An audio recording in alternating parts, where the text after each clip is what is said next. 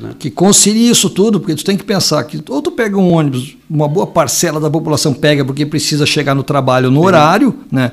Uh, claro que eu já percebi que a, começa a acontecer uma coisa em Osório que eu não tinha essa. Eu sempre tive a visão em Osório que tu 11 e meia tu saía para casa almoçar e que é o que a maioria ainda da população faz, né? E uma e meia tu volta para o serviço, né? Tu começa a perceber que algumas empresas, eu tenho feito uma série de visitas aí com o secretário de Desenvolvimento Lucas, né?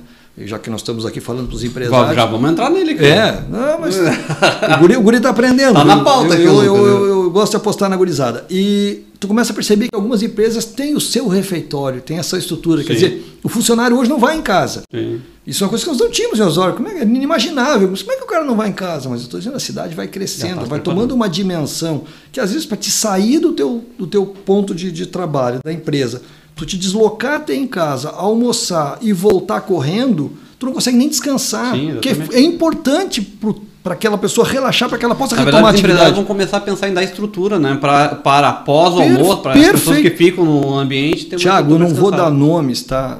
Não é essa a proposta, mas é, é, é em cima do que tu estás dizendo. Eu já me deparei com pessoas que tu sabe qual é o comércio, qual é o estabelecimento que elas trabalham. Ao meio-dia elas comem e ficam na praça, ficam, não tem um local adequado, Exatamente. sabe? Para poder descansar, relaxar, para retomar a atividade no turno da tarde, trabalhar com tranquilidade. Porque até a produtividade muda. Sem dúvida, né? Quando tu tem uma dúvida. condição melhor de trabalho ou de descanso, de alimentação e de descanso.